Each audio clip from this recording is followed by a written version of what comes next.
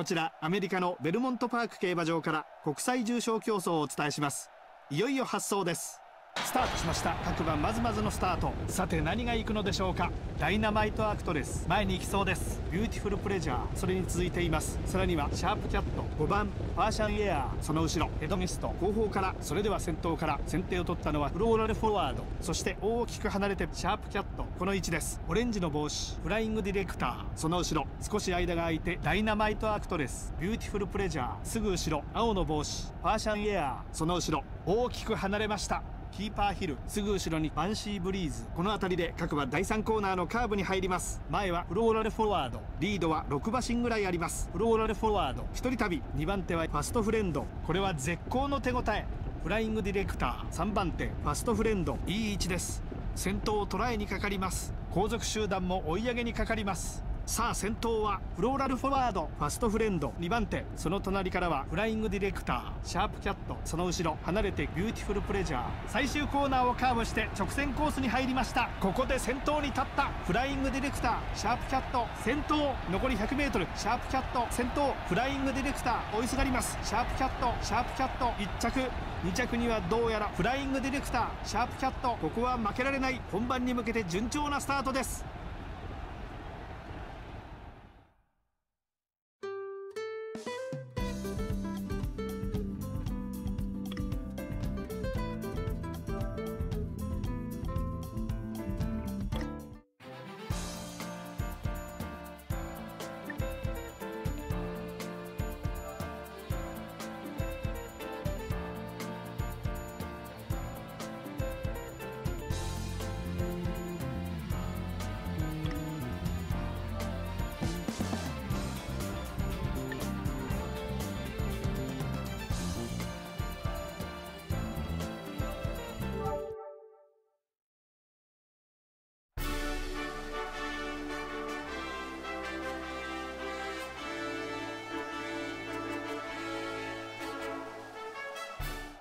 こちらアメリカのサンタアニタ競馬場から国際重賞競走をお伝えします。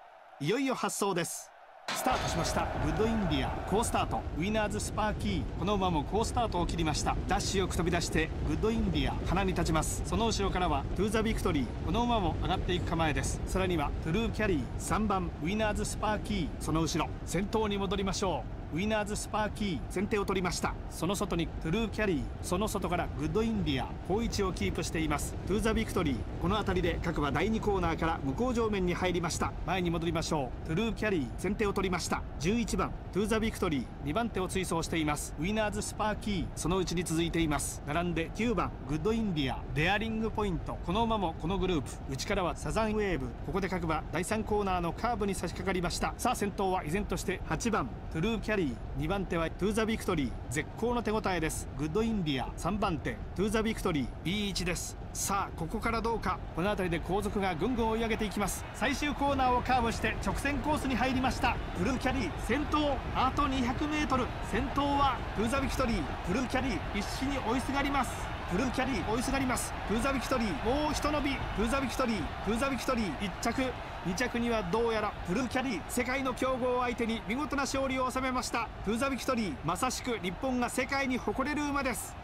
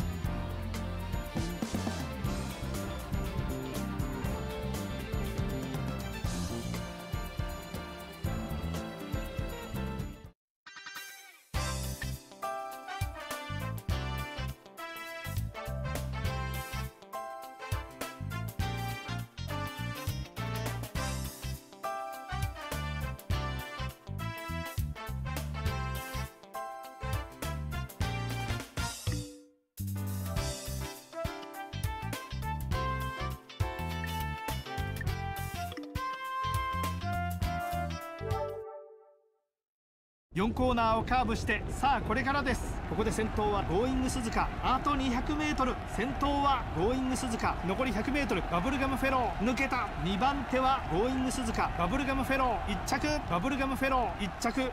2着にはどうやらフリート生還これが G1 馬だ。バブルガムフェロー。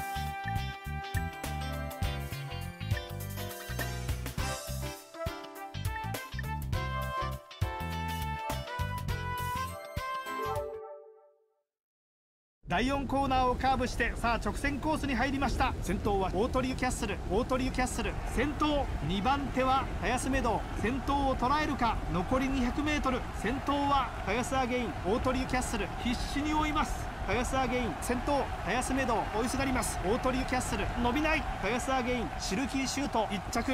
2着にはどうやら。林アゲインシルキーシュート。見事トライアルを勝利。本番に向けて夢が広がります。